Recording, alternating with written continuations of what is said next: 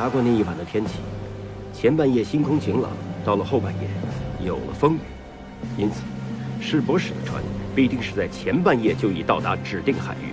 但是意思是，和士兵们都没有见过黄金，因此神秘人应该是独自上了王立德的船，并且杀了他。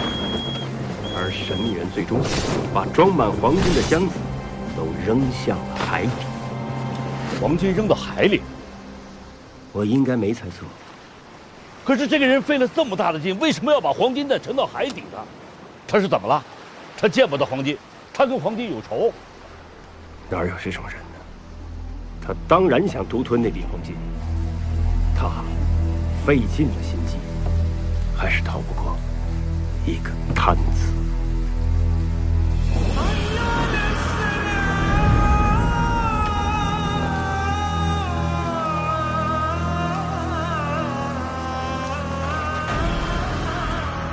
那天晚上沉黄金处，其实离海岸不远。《潮汐志》上记载，这里每过百年，便会发生一次奇异的大潮汐。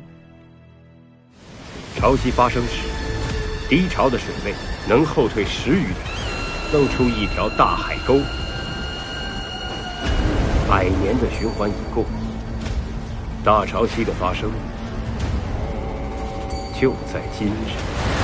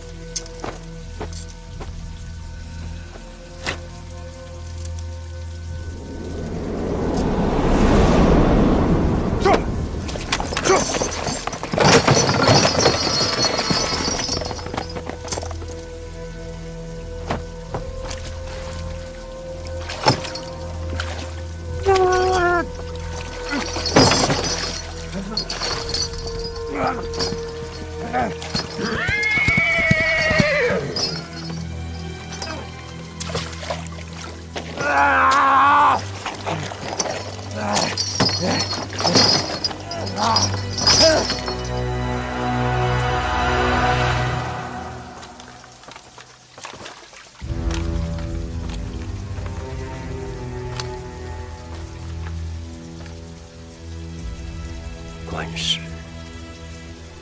淮阴